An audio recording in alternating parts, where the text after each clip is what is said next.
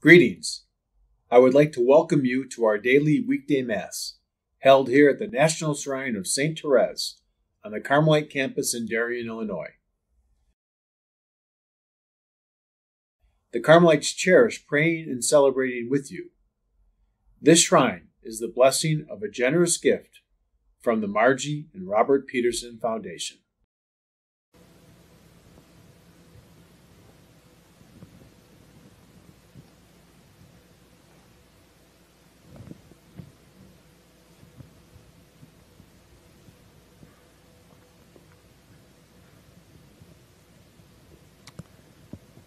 Good morning and welcome to the National Shrine of St. Therese.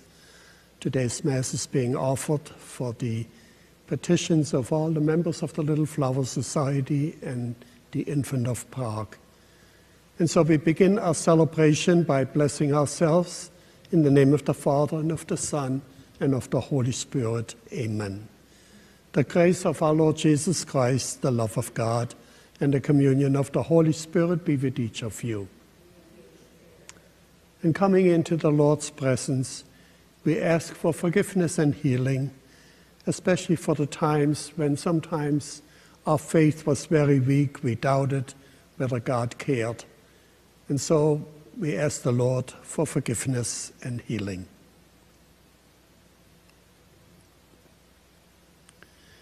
Lord Jesus, you emptied yourself to become one of us. Lord, have mercy. Christ Jesus, you were obedient unto death. Christ, have mercy. Lord Jesus, you are exalted in the glory of God. Lord, have mercy. And may Almighty God have mercy on us, forgive us our sins, and bring us to everlasting life. Let us pray.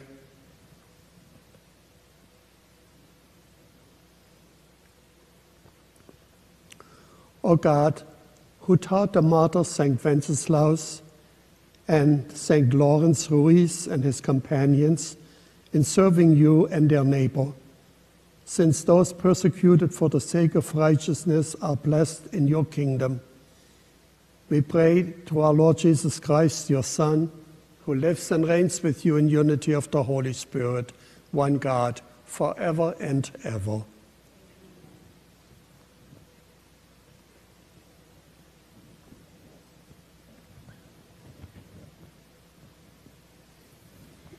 A reading from the book of Job.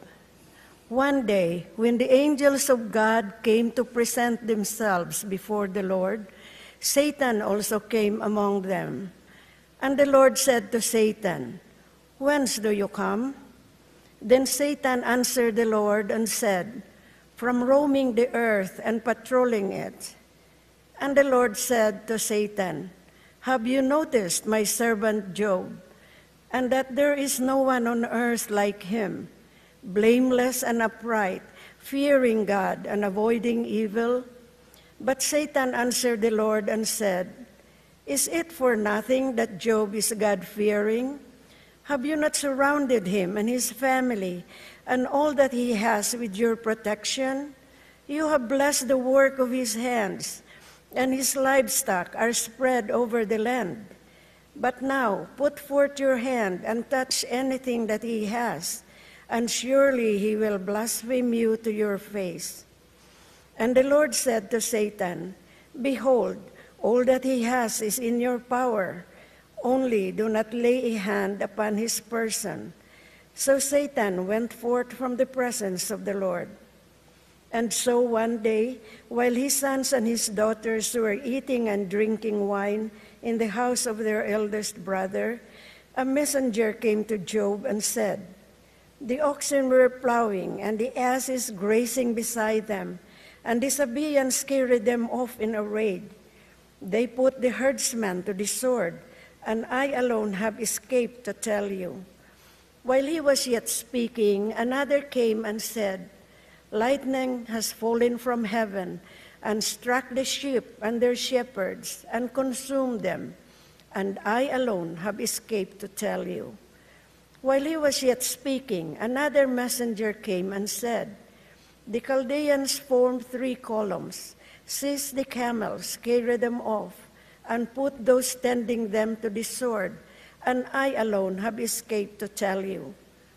While he was yet speaking, another came and said, Your sons and daughters were eating and drinking wine in the house of their eldest brother, when suddenly a great wind came across the desert and smote the four corners of the house. It fell upon the young people, and they are dead, and I alone have escaped to tell you. Then Job began to tear his cloak and cut off his hair. He cast himself prostrate upon the ground and said, Naked I came forth from my mother's womb, and naked shall I go back again. The Lord gave, and the Lord has taken away. Blessed be the name of the Lord. In all this, Job did not sin, nor did he say anything disrespectful of God. The word of the Lord. Thanks be to God. Incline your ear to me and hear my word. Incline your ear to me and hear my word. Hear, O Lord, a just suit. Attend to my outcry. Hearken to my prayer from lips without deceit. Incline your ear to me and hear my word. From you let my judgment come. Your eyes behold what is right. Though you test my heart, searching it in the night, do you try me with fire, you shall find no malice in me. Incline, Incline your, ear to me and, hear my word. I call upon you, for you will answer me, O God. Incline your ear to me, hear my word. Show your wondrous mercies, O Savior of those who flee from their foes to refuge at your right hand. Incline, Incline your ear to me and hear my word. Alleluia, alleluia. Alleluia, alleluia. The Son of Man came to serve and to give his life as a ransom for many. Alleluia, alleluia.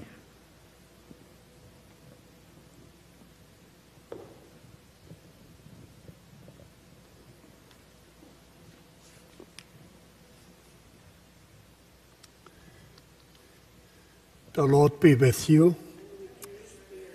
A reading from the Holy Gospel according to Luke. An argument arose among the disciples about which of them was the greatest.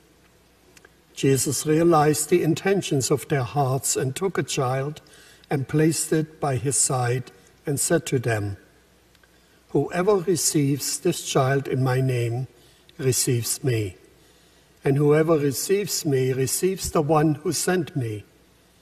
For the one who is least among all of you is the one who is greatest.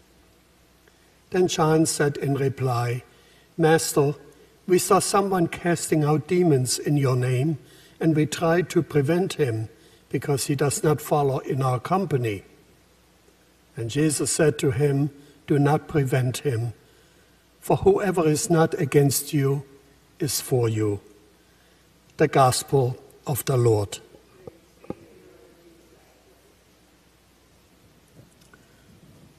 My dear friends in Christ, today we celebrate two saints, one of them being St. Lawrence Ruiz and his companions, and the other one, St. Wenceslaus. St. Lawrence, of course, is the first saint of the Philippines. He was a married man and a devout Catholic, and then one day was accused of murder and ended up fleeing his homeland with a group of Dominican priests to go to Japan, where there was a tremendous persecution of Christians going on. And he and all his companions died. They were all killed. It somehow brings to mind today the first reading of Job. When we first learn about him, we learn that he was very blessed in so many different ways. Everything seemed to be going well for him. And he was a very faithful person whose God he worshipped and he placed all his trust and confidence in him. But then suddenly he was being challenged. And one by one, he lost everything that was important to him. And that's what today's story is about. Job didn't give up. I think sometimes we find ourselves in his shoes when everything is going well and we think, oh, that must be God's plan. And then suddenly nothing seems to go, go, be going right for us, and we wonder, does God care? Does He really live? And so that human experience that we have is very real for all of us. But sometimes we find it difficult, no matter on what level we enter that relationship with God. Prayer can become very easy when things are going well. They can be most challenging when things are not going well for us.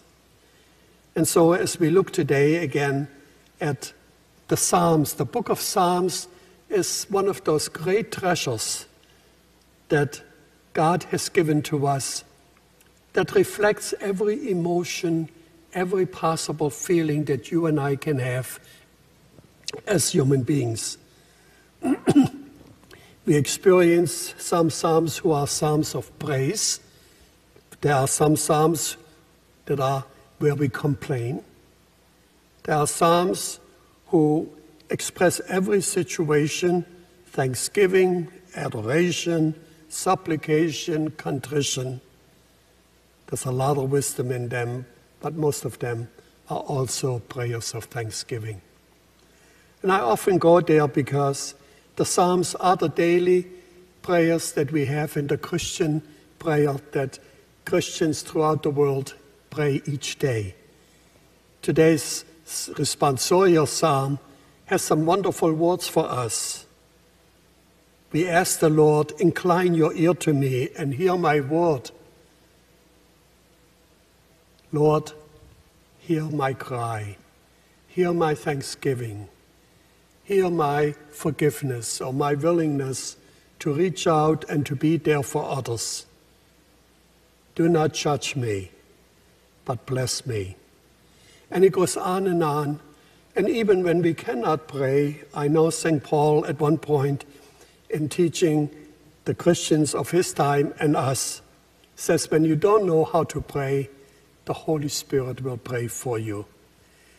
And probably that is an experience that we all have at different times. We don't know what to say, we don't know how to pray, and then we begin to wonder is our faith lessening, or are we simply coming before the Lord and say, Here I am, Lord, help me? So, as we look at that today, at the ending of the first reading, the words that Job says are so much true in us, even though we want to stay away from it. Notice what he said. He says, Naked I came into this world, and naked I'm going to leave. We don't want to hear that. The first part is wonderful, isn't it? But we need to sometimes keep reminding ourselves how we came to be how this God who created us put his own spirit in us so that we can be close to him and we're attached and interrelated with him. But then when things get difficult, we begin to question, begin to wonder, does God really care? And Job, by his example today, realized that no matter what happens, God loves us that's what it is all about. And I think St. Therese gives us that same insight. She says, live in the moment. And when we feel that we don't know how to pray, maybe that is the moment just to be silent, just to say, Here I am, Lord, and let the Spirit of God speak on our behalf. When we're so down on ourselves because of pain and suffering and loss, of whatever kind. Sometimes words do not speak at all. All we can do is our presence speaks for, for us. And so there's many different ways in which we relate. But I think what is most important is to realize what Job said.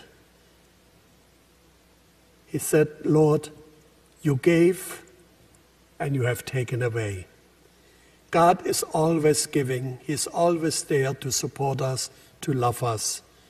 And the least we can do is sometimes when we don't know what to say, Here I am, Lord. You know my heart. You know what it's all about. Help me to accept and to realize that you love me, that you love us. And I think when we do that, then today's feast day of the people, St. Lawrence Ruiz, any of the saints and his companions, they trusted in the Lord. They left their homeland. They, they looked for the Lord and said, Here we are to do your will. And God responded to them by loving them, but also challenging them not to give up when things got tough, but rather to put our trust in the Lord. And I come back to Job again when he says, We came into this life naked. We came into this life with nothing but the love of God. And that is the only thing that we're going to leave with. And so maybe when we forget that, that would be the moment to say, Lord, keep reminding me how much you love us and how much you love me. And He gave us His own Son who shows us the way.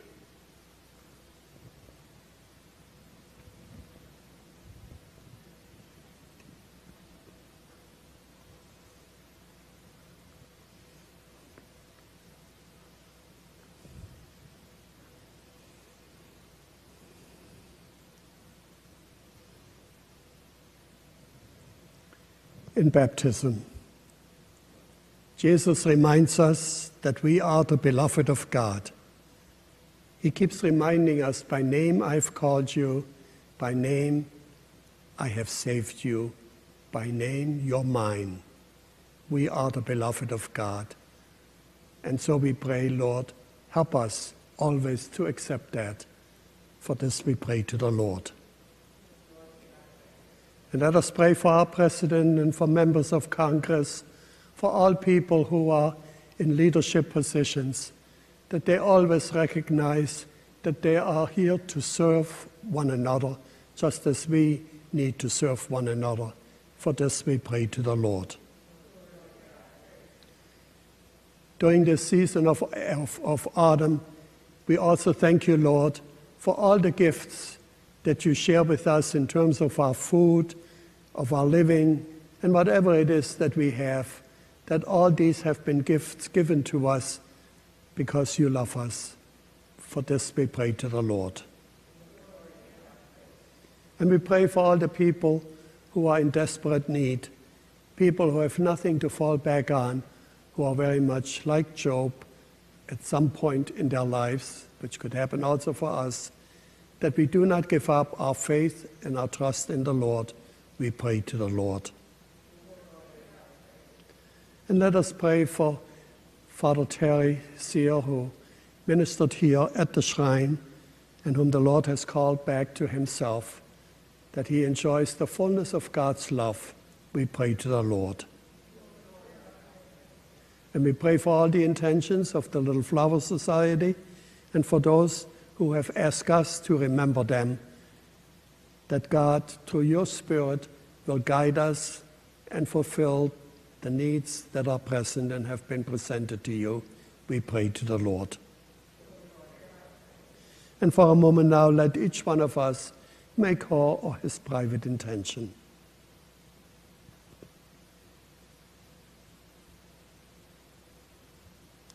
And for all of these intentions, let us pray to the Lord. Loving God, we pray that your Spirit brings all of our needs before you, and through the intercession of Saint Therese, bring us always closer to you. We ask this through Christ our Lord. Amen.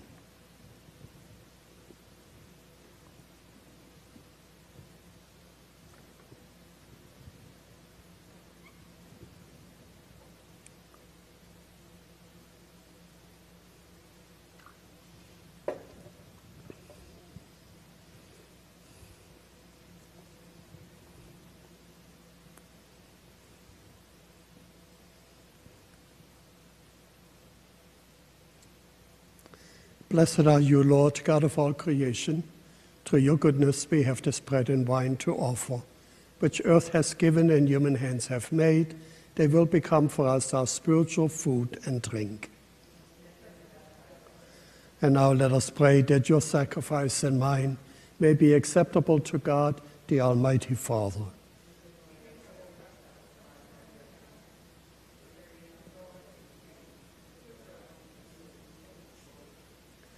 Receive, Holy Father, the offerings we bring in commemoration of the holy martyrs whose feast day we celebrate today, and grant that we, your servants, may be found steadfast in confessing your name through Christ our Lord. Amen. The Lord be with you. Lift up your hearts and let us give thanks to the Lord our God. It is truly right and just, our duty and our salvation, always and everywhere to give you thanks, Lord, Holy Father, Almighty and Eternal God. For you are glorified when your saints are praised. Their very sufferings are but wonders of your might. In your mercy, you give ardor to their faith. To their endurance, you grant firm resolve. And in their struggle, the victory is yours through Christ our Lord. Therefore, all creatures of heaven and earth sing a new song in adoration. And we, with all the hosts of angels, cry out, and without end we acclaim Holy, holy, holy Lord, God of hosts. Heaven and earth are full of your glory. Hosanna in the highest. Blessed is he who comes in the name of the Lord. Hosanna in the highest.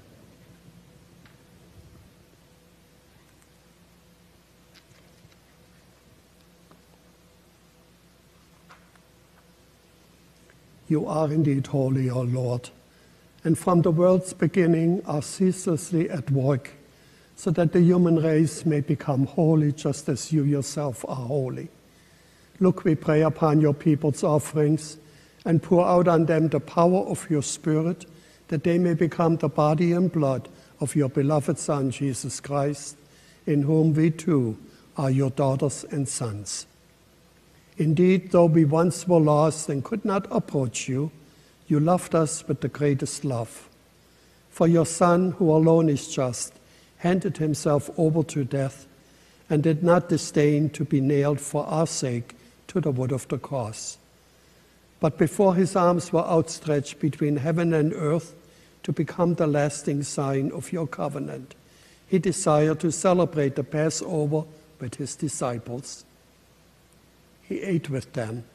He took bread and giving you thanks, he said the blessing, broke the bread, and gave it to them, saying, Take this, all of you, and eat of it, for this is my body, which will be given up for you.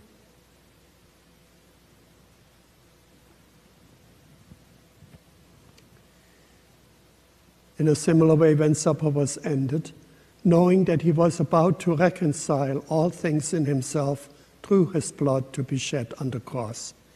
He took the chalice filled with the fruit of the vine, and once more giving you thanks, handed the chalice to his disciples, saying, Take this, all of you, and drink from it.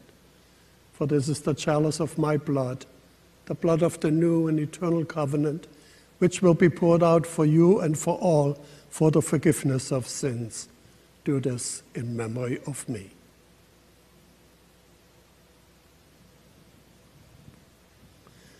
The mystery of faith. Save us, Savior of the world, for by your cross and resurrection you have set us free. Therefore, as we celebrate the memorial of your Son, Jesus Christ, who is our Passover and our surest peace, we celebrate his death and resurrection from the dead, and looking forward to his blessed coming, we offer you, who are our faithful and merciful God, the sacrificial victim who reconciles to you the human race. Look kindly, most compassionate Father, on those you unite to yourself by the sacrifice of your Son, and grant that by the power of the Holy Spirit, as they partake of this one bread and one chalice, they may be gathered into one body in Christ, who heals every division. Be pleased to keep us always in communion of mind and heart, together with Francis our Pope and Ronald our Bishop.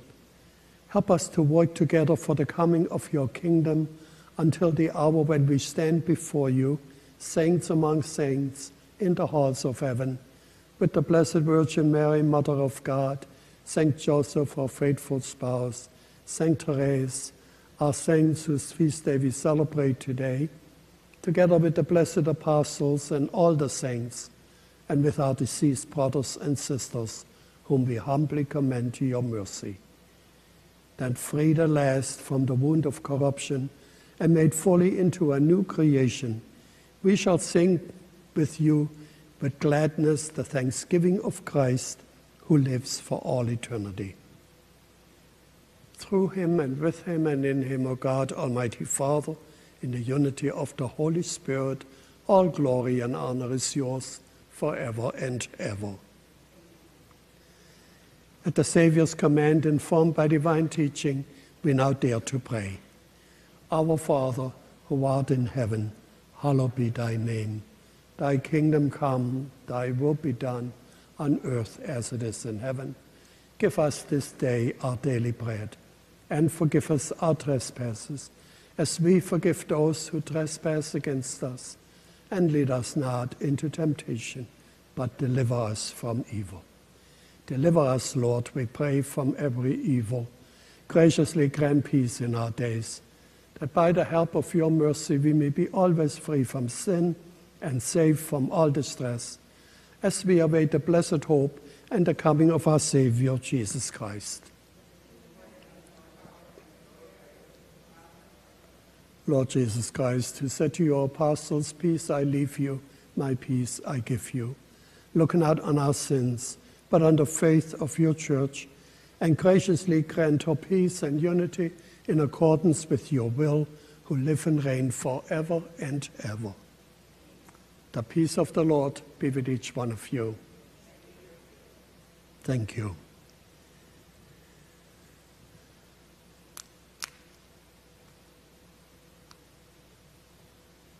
Lamb of God, you take away the sin of the world, have mercy on us. Lamb of God, you take away the sin of the world, have mercy on us. Lamb of God, you take away the sin of the world, grant us peace.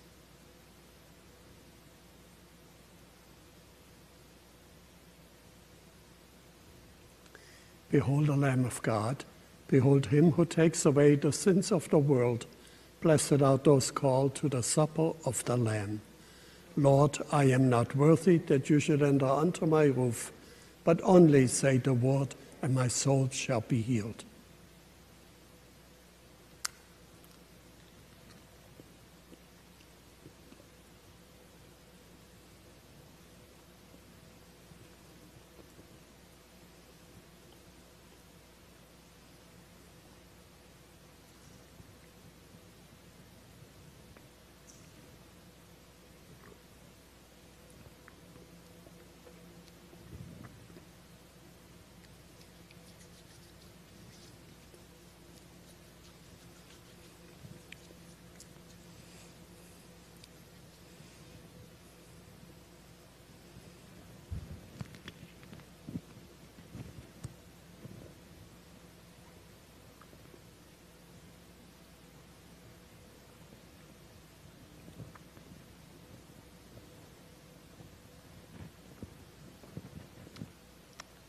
body of Christ.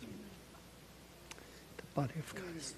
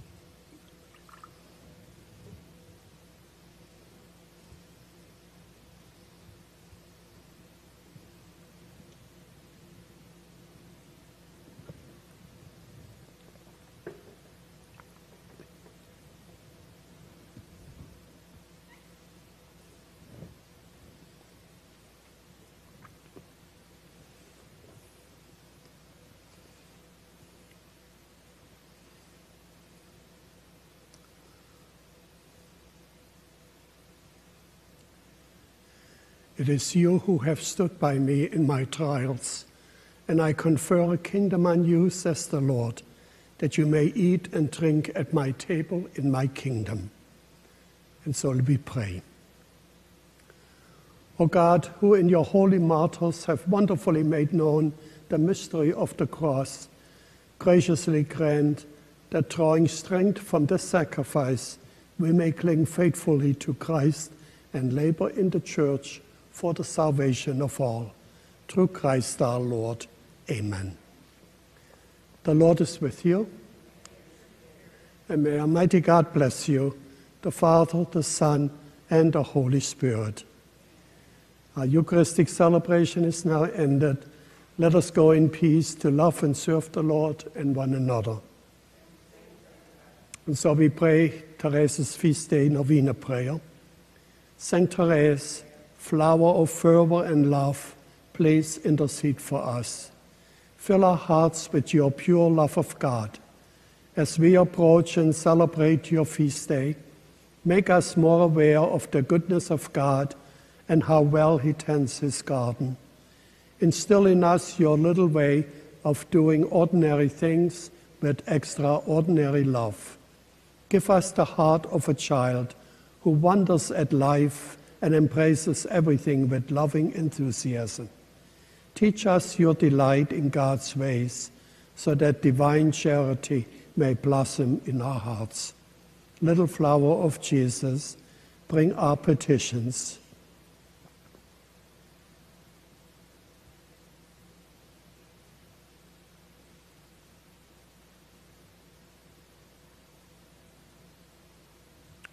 Before God our Father.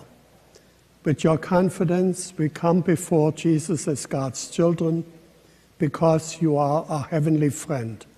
As we celebrate the feast day of your homecoming in heaven, continue to shower roses and graces upon us. We ask this through Christ our Lord. Amen. Have a wonderful day.